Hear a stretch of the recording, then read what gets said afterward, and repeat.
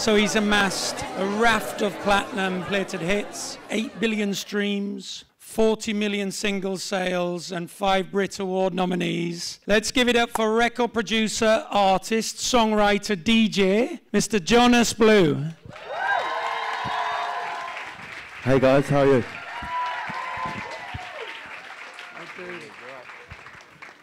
You're interested, you got a, a, good sense of the business as well, and do you think that's essential character for uh, for artists?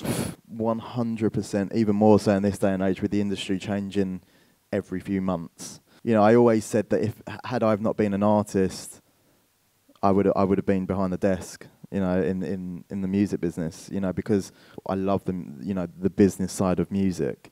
Um, and uh, yeah, it definitely plays a vital role in, in, in you know the way I make my music, the way we put it out.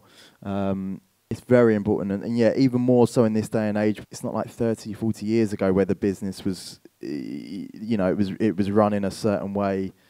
You know, we've got digital platforms popping up every every few years, and all of a sudden, you know, the industry changes. You know, we most of our official chart is based on the Shazam chart try telling people 30 years ago that, you know, our chart would have been based on people putting their phones up to a speaker trying to tag a song.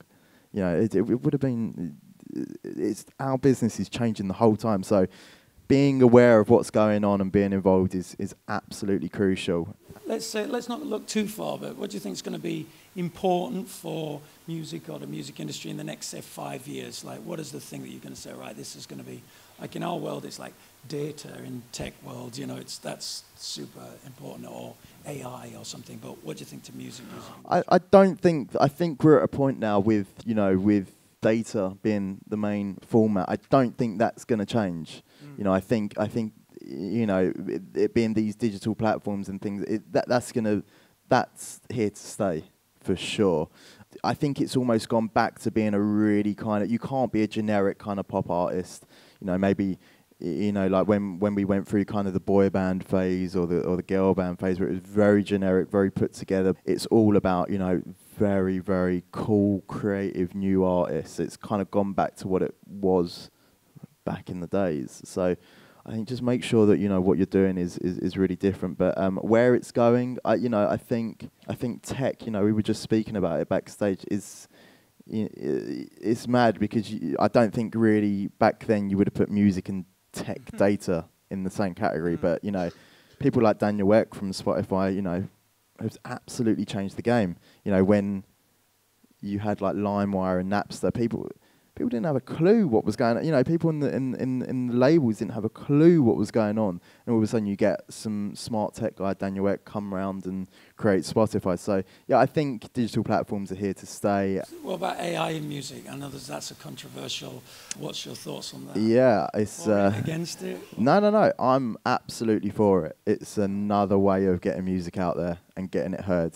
You know, if people have said to me, "Oh, we heard your song on TikTok," great I'm not going to be against that, am I? I, I? think it's great. You know, it's it's another platform to get your music out there, and they're only they're only there's going to be so many more of these, you know, and they will come and go as they do. But I think data tech platforms are, are the future and here to stay.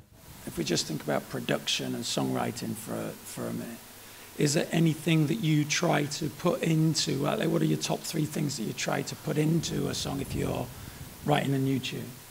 Okay, so my top things that go into you know making a new song of mine would be a technique that I'd kind of uh, learned from one of my idols, which is Max Martin. it stemmed back to it's going to be so crazy because you know people think, oh my god, like you know the dance artist, but one of my favorite songs is Britney Spears' "Baby One More Time." Me too. And it, fantastic. The the thing with that record, right, is that no one understands that when you press play on that record, you instantly know what it is. There's no waiting 30 seconds or, mm-hmm. you know, as soon as that comes in and those two two piano notes come in, you're you're in. And that stemmed back from his mentor, a guy named Denniz Pop, saying, you know, he was a DJ in, in the clubs, this Denniz Pop, and basically said that when he would play records in the club, he wouldn't want people to hang around on the dance floor and possibly lose them. So the idea was that if he would play a record, they pe- people on the floor would instantly know what it is. So that's why they made songs like "Baby One More Time" instant. You know that come in. That technique really, really stuck with me. So if you listen to any of my records now, whether it's Mama, Rise, as soon as you hit play, you you you instantly know what it is from the, the you know the piano melody or the synth melody, and that stems from those records.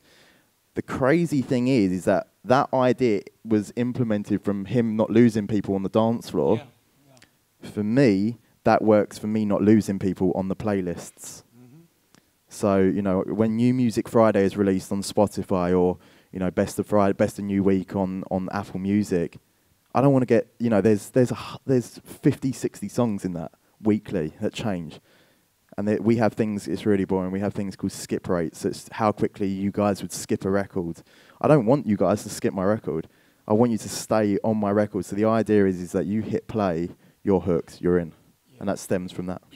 So that would be the first thing. Um, the second thing would be um, would be lyric, simple lyrics but credible.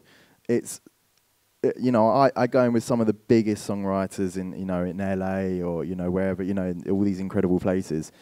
As songwriters, you know you really you know you want to write something which is really edgy, something really different, and I'm like, I want to write something which is really really simple and they are the hardest things to write because you know it's it's it's kind of easy to write something edgy and be weird, you know, and and come up with those weird lyrics, but to create a song like Rise, which is a very very simple song but yet so credible, is so so difficult. So for me, that's the key: is making simple songs, uh, simple lyrics, should I say, that are that are new and different. But you know, I could go to India, I could go to Brazil, and people understand that lyric. You know, I've had things before where I'll go to, you know, Japan is one of my, you know, one of my biggest territories. I'll go there and I'll ask, you know, random people, do you understand what what I like about you means? And then you say like, what about Rise or Mama? And they're like, ah, yeah. So those things stick with me about how simple a lyric can translate around the world. But d- you know what I'm saying is just how well a lyric can translate and for it to be understood worldwide is very, very crucial to me. And then the third thing, probably melody. If you were a new artist now, if you starting out now, how do you go about like gaining exposure, getting the attention of people who may like your music or people who can help you out in the industry, especially in today's climate with so much competition going on and also maybe on a low budget? How do you go about that? I think for me, you know, I'm always on the lookout for new artists constantly now. You know, as, as much as I've, you know, been very fortunate and been able to collaborate with some incredible established acts, I'm just as much looking for the next big thing, always. Same with many people in the, in the music business and the record labels. So, you know, again, going back to the the platforms, you know, I think you were saying people who come up to me and say, "Oh, you know, my song is on Spotify," doesn't mean much. Doesn't really, you know, it's great, Yeah. Yeah. but doesn't really mean much at an early stage, you know, because anyone can get their songs on Spotify and Apple Music and things like that. right, It's whether the music's right, but how to gain exposure, you have to look at how people are being noticed. And I think you know, back in, but uh, you know, there's still a lot of people from the record labels going to bars, and you can do the classic thing, you know, being the live musician and going out and performing on stage. But me, more so, I don't really go out to find new artists. I'll just be on YouTube and I'll be on Instagram. And the thing that I look for is covers of my favourite songs. And again, within five to ten seconds, I'll know if someone's good.